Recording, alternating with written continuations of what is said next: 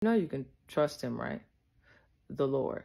This is why I say you can trust him because we do live in a world that is so legitimately inconsistent and we have so many things that feel untrustworthy. Like we got friendships because people are weird and strange and just do strange things. You got your job where your money get funny depending on how the HR is. You got the weather. Like on Tuesday we got like like hail, like the little balls ice, and then like on Wednesday we got hail, like the devil is raining over the forecast. And so just just nothing feels solid or or secure.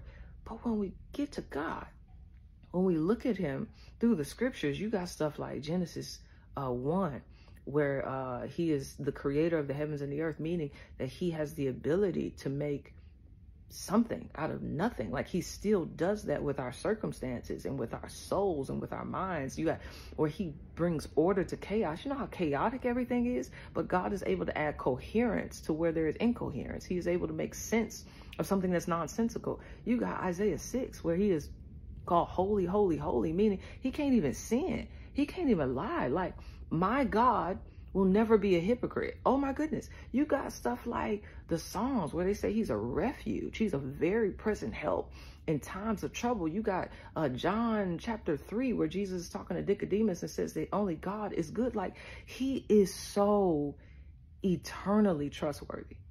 That's it.